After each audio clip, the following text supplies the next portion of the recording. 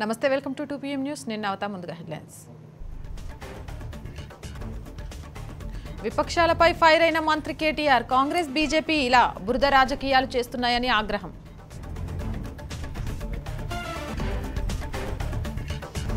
Green India ఛాలెంజ్ని స్వీకరించిన రామ్ చరణ్ మొక్కలు నాటి పలువురికి ఛాలెంజ్ విసిరిన చెర్రీ.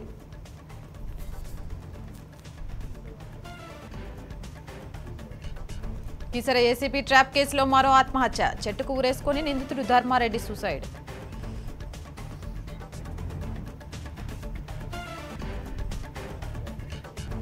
గుజరాత్లో రోపాక్స్ టెర్మినల్ను ప్రారంభించిన ప్రధాని మోదీ. హజీరా నుంచి ఘోగా మధ్య రోపాక్స్ ఫెర్రీ సర్వీస్ ప్రారంభం.